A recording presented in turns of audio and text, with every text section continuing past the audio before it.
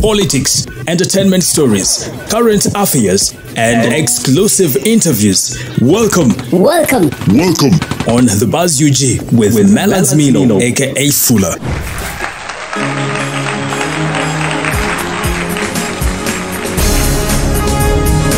Now, President Museveni has instructed the Inspector General of Government, Beti Kamya, as well as the CID boss, to investigate the Speaker of Parliament, the Right Honorable Anita Among, the Prime Minister of Uganda, Right Honorable Robinah Nabbanja, the former Speaker of Parliament, Right Honorable Rebecca Kadaga, the Minister of Karamoja Affairs, Dr. Mary Goretti Kitutu, and every name that has been mentioned in the Iron Sheet scandal.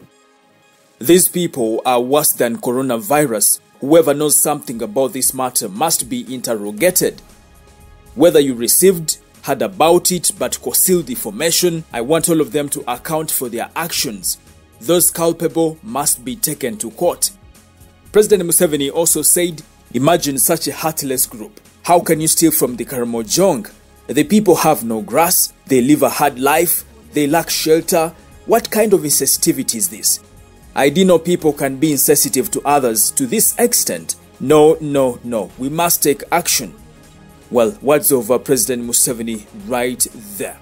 Well, it should be remembered that uh, the members of parliament from the Karamoja sub-region have already notified the parliament of Uganda their intention to present a motion to censure the minister of Karamoja Affairs, Dr. Mary Goretti Kitutu. Now, we are waiting to see how this story will end, and of course, I'll be keeping you posted right here on the Buzz UG. Don't forget to subscribe in case you haven't, and also tap on the bell for all the notifications. It's a bye for now. Thank you. Audio Jungle.